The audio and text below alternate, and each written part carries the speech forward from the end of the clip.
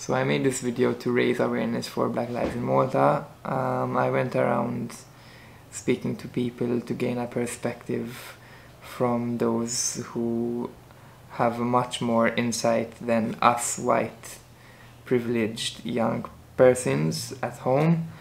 Um, and what you're gonna see is basically the aftermath of um, me speaking to these people. I decided not to film these people who I met because I wanted it to be more of like a conversation rather than me interviewing them. So the first person I met was Maskout. He's 22 years old from Somalia. Um, we instantly became friends, me and him, because he's 22 and he, he didn't look it. He looked, he looked like a proper adult, um, a fit person, a really, really handsome person as well. One of the fucking hottest persons I've seen, honestly. Perfect beard, man. He looked really cool. Um, his fashion sense was on point as well in summer. So basically, he's been living in Malta for eight years. Masoud told me that he loves living in Malta, that people treat him with respect. Um, he he's lived in Sweden before. He's lived in Austria. He has a wife in Austria, in fact. Um, so he's been uh, all around Europe, in Finland as well, and he said Malta is one of the best, one of the most friendly, friendliest people that he's ever met. He has friends who are Maltese. He loved the conversation we are having. He wanted to be my friend instantly. He was really happy that I, I went to talk to him. He could do push-ups like like this, you know, ones which like feel feel your triceps. Um, he could do 20 of these, so I'm like, oh no, no, you can't do 20. And then he fucking got up and he started doing them and he showed me how he can do 20 of these. And I was impressed. Me man. That is amazing. Um, and just an overall great guy. In fact he's not working at the moment because of coronavirus and he wanted to go to his wife in Austria in March but because of corona he's obviously not there so we spent around literally 30 minutes talking he was telling me stories or when he goes out and what he does and and his view on life and things like that. He said, "Bro, go go to this place in Hamrun. That's where you'll find all people who I who I know. They work at a few shops in Hamrun." he said he literally showed me on Google Maps a specific location, and he told me to go there to to speak to his friends over there. and I'm like, "Alright, I'll I'll go there next." And on my way to Hamrun, I go. So I came to Hamrun after Paceville and straight away I, I, saw a few people, two people buying a kebab, kebab and they were speaking to the kebab shop owner. So I said, ah, okay, they'll be willing to talk to me probably. So I go to them and I start asking them questions. And they're like, itkellem bil-Malti, tax, itkellem bil-Malti. I'm like, alright, like, so I started asking questions in Maltese. And so He's 39 years old. He's been living in Malta for 15 years and he's had a great experience in Malta and he finds the people very welcoming and very fair and and uh, we carry on talking and straight out he's like bro you want a kebab like like a kebab uh, mandish flus ta and he's like le bro bro food he's like, he's like on me on me and we go we, and he buys me a fucking kebab a, a big one, Tayak. He buys me a 4 euro worth kebab for talking to him for for maybe two minutes. Because then we bought, I bought it and we continue talking until for about 10 minutes and he goes. He says, oh, I have to go, I have more work. That's all left. Ciao, ciao. Now have a fucking kebab. I really, really appreciate the kebab he got me. I am forever in his debt. He had no reason to even offer me a kebab. Like, I don't know, I, I was just this random person who came after him. Crazy. Uh, maybe I, that's the white privilege which you get, you know. Madonna. Um, some, and he gave me his Facebook like like Mahmoud did also, Mahmoud, Maskout. So now I have Maskout's Facebook and Abdullah's Facebook and he told me to go to Halfar but instead I just started to walk around Hamrun to see if I could talk to anyone else. So while walking, then I met Alex. He came to Malta very recently compared to the other two. He came to Malta nine months ago. He's from Cameroon. He explained how his family were killed. He explained how we only have one life and we have to live to the fullest. These are in his words. He obviously he couldn't speak English very very well, but he was ex he explained how we're here for one time and we have to enjoy it and we have to have fun and it's important to use your life to to learn things and to enjoy it. He was basically telling me. Was telling me how yeah he, the only young people he saw were in St. Julian's in Paceville and how he really liked to see so many young people having fun and um, dancing and having a good time. He just really liked to see that. But he is aware of the problems we have regarding immigrants, um, like every other European country does. And he was asking questions uh, on my perspective as well, and we had a good conversation a bit more politically. Alex is 25 years old. He explained how I was the only like Maltese person to speak to him, that he's, he rarely speaks to anyone Maltese. And he really enjoyed the conversation we had and he doesn't know yet about his future but right now he has to settle in Malta because he can't go back to Cameroon because he says they'll fucking kill him. So so overall what I gained from their perspective is that oh I'm filming something. What? I like can't talk man.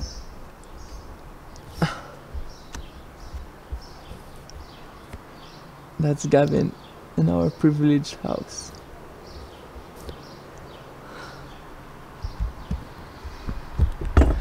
I'll wait for him to go back in and stop listening to what I'm saying because I feel embarrassed to talk when there's someone watching me from a window. Overall, they they all want a good peaceful life with friends with family and they understand what life is what life has to offer them how they could live in a safe environment with good people people they trust and overall in Malta that's what they have and that's what they are right now where they decide to stay. Um, they're all really really kind people in conclusion, we should all just fucking be kind to one another. We're all people, we're all babies. We all relied on our we all relied on people to take care of us when we were younger. We're all fucking crying, vomiting, shitting. We also need to like appreciate that we're very very comfortable compared to billions of other people in this world. Malta is nothing compared to the whole world we're a very very small minority of the real world.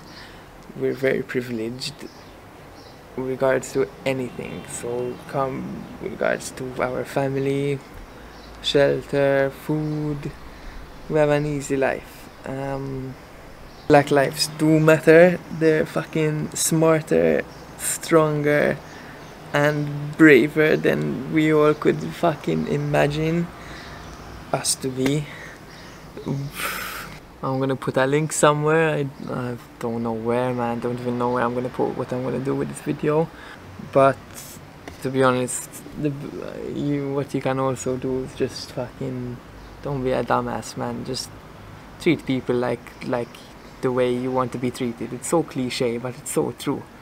Everyone wants to just have a fucking laugh, man we're all gonna die, man. We're all gonna die. We're all the same people, man. Allah you see someone different because of their skin color. Man. You, you, you honestly have to be the stupidest person to treat someone else differently because of their fucking skin color. They. How fucking idiotic could you be? Manash. So that's the video. I hope you gained an insight regarding Black Lives in Malta and how they matter. Um, I hope it was more informative than seeing a picture which is black with the caption Blackout Tuesdays on Instagram. Um, and to end the video I'm gonna post I'm gonna read out some captions, some quotes that I find on Google Images to make the video a bit more dramatic and a bit more sad so people feel more emotional watching this video and maybe share it because they feel sad in the end. So I'll search some racism quotes. Cue the sad music. So I have a dream that my four little children will one day live in a nation where they will not be judged by the color of their skin, but by the content of their character. We've all heard that quote before and it's very true. Um, we all and, and we're all born not racist, we're all born no it's just how you're brought up, you know and where you've been brought up. Second one, the fact that we have to debate whether or not racism still exists is proof that it still does. That's true, I, mean, I agree with that. It is not enough to be quietly non-racist. Now is the time to be vocally anti-racist. I agree with that. It's probably the reason for all the awareness that is going on at the moment. That it's I mean, there have been movements before, but I've never seen it on this scale before. Um, and specifically, it needs to be done in Malta. Um, like, fuck George Floyd, I, know it's horrible and happened in America, but let's try to be specific, be specific to Malta. Um, and acknowledge that this shit happens every day and it's been happening for a long time in Malta. Um, so let's try raise awareness in Malta, not in America, although in America it's important to... This one should be good. This one, I see Gandhi in the picture. I remain an optimist. Not that there is any evidence that I can give that right is going to prosper, but because of my unflinching faith that right must prosper in the end. Well said, well said Gandhi. All of this means that subordination doesn't require intent. In fact, apathy often works just as well. To be honest, I don't even know what that means, so we'll just skip that. Um, when people say Black Lives Matter, that doesn't mean blue lives don't matter. Motherfish, I don't know what the fuck. I'll tell you what freedom is to me. No fear. Alright, we're going off point now. Let me go. Let me search something else. Let me search. Um, racism quotes said. White people now tend to get darker, and black people wear their hair like white people. We are all confused. Deep down, we admire each other, but why can't we accept it? this is this is uh, I agree with this because um, all want to portray a nice image, you know, for others to see. Um, for example, I, I like to portray an athletic image, and I want to be have a, be athletic, and I want to be fast. And black people have a tendency because of their fast twitch fibers. They can run faster and they're more powerful um, and I want to be like them, you know, black. Um, on the other hand, black people, uh, they want maybe uh, white. What do they want of someone white? As I know. Now what do they, well, hmm. I don't know. I can't think of something a white person has better than a black person. Uh, their hair. What? Why would a black person want white person's hair? Apparently, a black person wants a wants hair like white person. I don't agree with that.